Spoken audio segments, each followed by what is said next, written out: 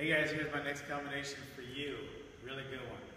Okay, this one, like most, a lot of the combinations, I want you to fake high, go low, fake low, go high, hit low, go high, um, just mixing it up. You want to mix it up with levels and directions because if all your punches are straight, it's pretty easy to defend.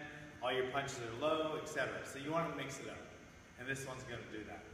Yeah, the first thing I want you to do with this one is jab high. Okay? You're going to jab high, and then you're going to throw a hard left hook to the body. When you throw your right hand to the body, since it hits the left side and there's no li liver here, um, it doesn't hurt quite as much as the liver side, but you can still do a lot of damage.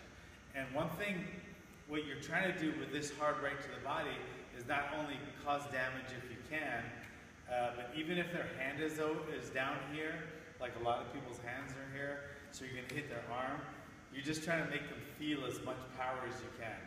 Okay?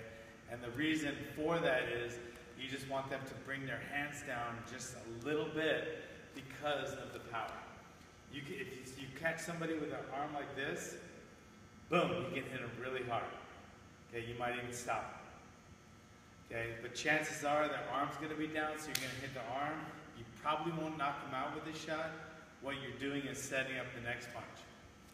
Okay, so after the jab, you just come in, and the jab is mainly to get you in. So you come in, lower your level, hard right hook to the body. Now while you're down here, hopefully they drop their arms just a little bit to defend, because while you're down here, you're going to throw a chopping left hook to the chin. Okay? So like I said, your whole purpose of the hard right hook to the body is to drop their guard just a little bit while you're here and you stay low and then bring that left hook over.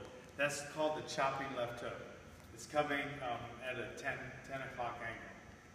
So say the clock is 6, 7, 8, 9, 10. That hook is coming down at a 10 o'clock direction. Hard right hook to the body, chopping left hook. Okay? Get in with a, a jab to the face. Lower your level, hard right hook to the body, left hook to the chin. Chopping left hook. Let me show it to you.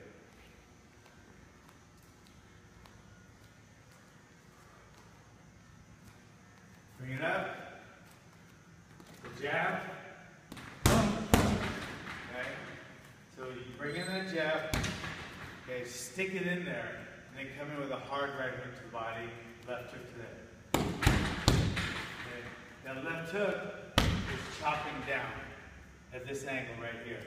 Because you're not coming back up and then throwing it. You're already down. Your level's down after that hard right hook. And then, okay, one thing to remember with this, the power, all in the hips. Turn your hip all the way with a right hook, and then turn it all the way with a left hook. Hip, hip, okay? Power.